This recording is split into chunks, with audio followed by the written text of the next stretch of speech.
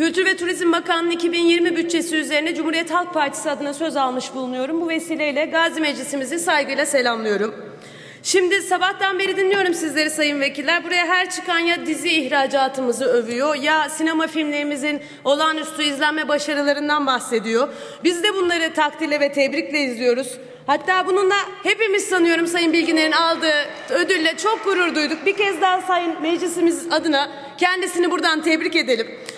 Aynı zamanda biri daha var seversiniz sizin için getirdim. Çünkü bu anlatacağım konunun sağcısı, solcusu, muhalifi vesairesi yok. TRT'ye para akıttığımız Neo Osmanlıcı dizilerin yıldızı Jön Türk'ü Engin Altan Düz Yatan. İki sanatçıyı da burada bu şekilde göstermek istiyorum. Çünkü her iki sanatçının da ve sadece ünlüler değil, ünlü olmayanların da canını yakan bir sorundan bahsedeceğim ben size. Gidip gelip burada böyle övdüğümüz dizilerimizdeki, sinema filmlerimizdeki oyuncularımızın, sanatçılarımızın beş kuruş telif hakkı olmadığından bahsedeceğim ben size. Ve bunun sorumlusunun da biz olduğumuzu anlatmak istiyorum müsaadenizle. Bakın bu insanların tekrar göstereceğim eserleri tekrar tekrar bir sürü televizyon kanalında, bir sürü otelde, uçakta, orada, burada tekrar tekrar gösteriliyor. Bu insanların hiçbiri bu eserlerinden tek kuruş telif hakkı alamıyorlar. Bütün kanallar bu işin ekmeğini yiyor. Ne işin sahibi olan o filmleri çeken yönetmenler, ne bu eserleri yazan senaristler, ne bu bayıldığımız karakterlere can veren oyuncular kendi emeklerinden bizim yüzümüzden beş kuruş yararlanamıyor sevgili arkadaşlar. Çünkü neden? Çünkü bizim meclisimizin değil orman kanunları geçerli. Bu televizyon ve sinema kanun e, sinema alanlarında. Bakın ilginç bir şey söyleyeceğim size. Türkiye'de sinemada ya da televizyonda iş mi yapmak istiyorsunuz? İki tane şeyi baştan kabul edeceksiniz. Bir, kardeşim 180 dakika dizi çek çekeceğim diye sabahtan akşama, akşamdan sabaha canın çıkıyor olabilir. Bunun bir önemi yok. Primini kendin ödemezsen sen bu sektörden emekli falan olamazsın. Amir hükmü var kanunun. TRT müdürü buradadır Sayın Bakan. Bir soralım 5510 sayılı kanunun 4.2b maddesi. Amir hükmü var. Sen bu sanatçıları sigortalı yapacaksın diyor. Hiç kimse yapmıyor. Devlet televizyonu devletin yasasına uymuyor. Biz diğer yapımcılardan, diğer kanallardan bunu nasıl bekleyeceğiz? Ben gerçekten bunu merak ediyorum. İkinci bir husus ister Haluk Bilginer ol, ister ünlü ol, ister ünsüz ol. Sen yarattığın eserin peşine düşemezsin diyor bize bu sistem. Ve biz bu telif hakları yasamızı değiştirmediğimiz için bu insanlar bu şekilde sömürülmeye devam ediyorlar. Bunu sadece ben bilmiyorum. Sayın Bakanlık da çok iyi biliyor. Bu yüzden 3 değil 5 değil bakın tam 10 yıldır telif hakları yasasında gerekli düzenlemeleri yapmak için çalışıyoruz. Ama 10 yıldır biz bir arpa boyu bile ne yazık ki yol alamıyoruz sevgili arkadaşlar.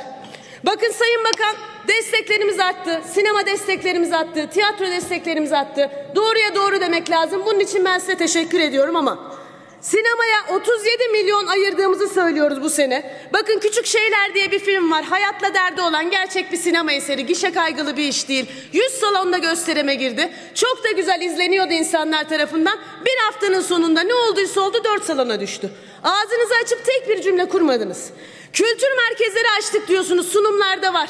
Daha yeni Malatya'da açtığınız kültür merkezinde Ankara Birlik Tiyatrosu'nun aman başkan duymasın oyunu sudan bir sebeple yasaklandı. Bir tek o değil Levent Üzümcü'nün ee, anlatılan senin hikayendir var. Cansu Fırıncı Taranta Baba'ya mektuplar yapıyor. Her yerde yasaklanıyor bu oyunlar. Diyorsunuz ya tiyatrolara 6 milyon veriyoruz destekleri arttırdık. Ağzınızı açıp bu sansürlerle bu aleni sansürlerle ilgili bir cümle kurmadığınız zaman ne yazık ki fazla inandırıcı olamıyorsunuz. Ve bakın şimdi tüm bakanlığın 2020 bütçesine bakıyorum toplam 5 milyar. Turizmi bir kenara koyuyorum sevgili arkadaşlar. Saray eşrafının kültür sanata reva gördüğü kaynak bir taş çatlasın 2 milyar lirayı geçmiyor.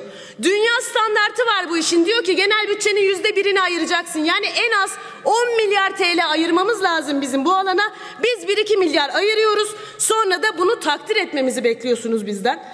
Gerçi ülkeyi öyle bir hale getirdiniz ki ne yazık ki gerçekten insanlar karınlarını doyurma telaşından ne tiyatro ne sinema düşünebiliyorlar.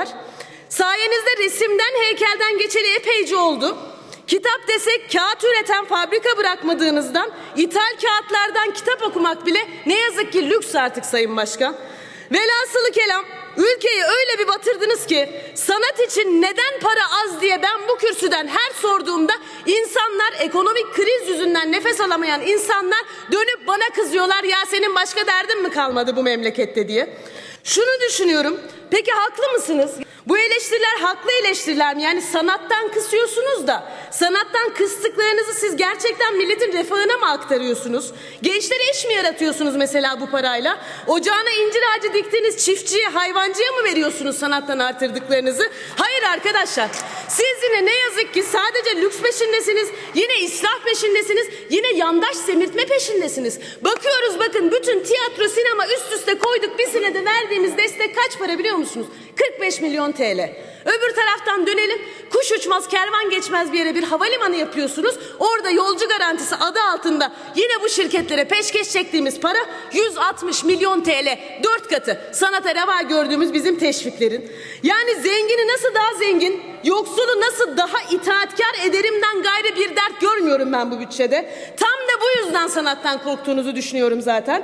Sanatın ve sanatçının kitleleri uyandırma gücünü de ne yaparsanız yapın sanatı kontrol altına alamadığınızda çok çok iyi biliyorsunuz. Bile bile tarihteki her zorba devrin düştüğü yanlışa düşüyorsunuz. İyice sıkarsak elbet bir gün özgür sanatta pes eder, boğulur, ölür sanıyorsunuz. Ama unutmayalım sevgili arkadaşlar. Halka gerçekleri gösterecek sanat kalmayınca devrimiz daim olur. Tarih bizi yazar sandı nice bazıları.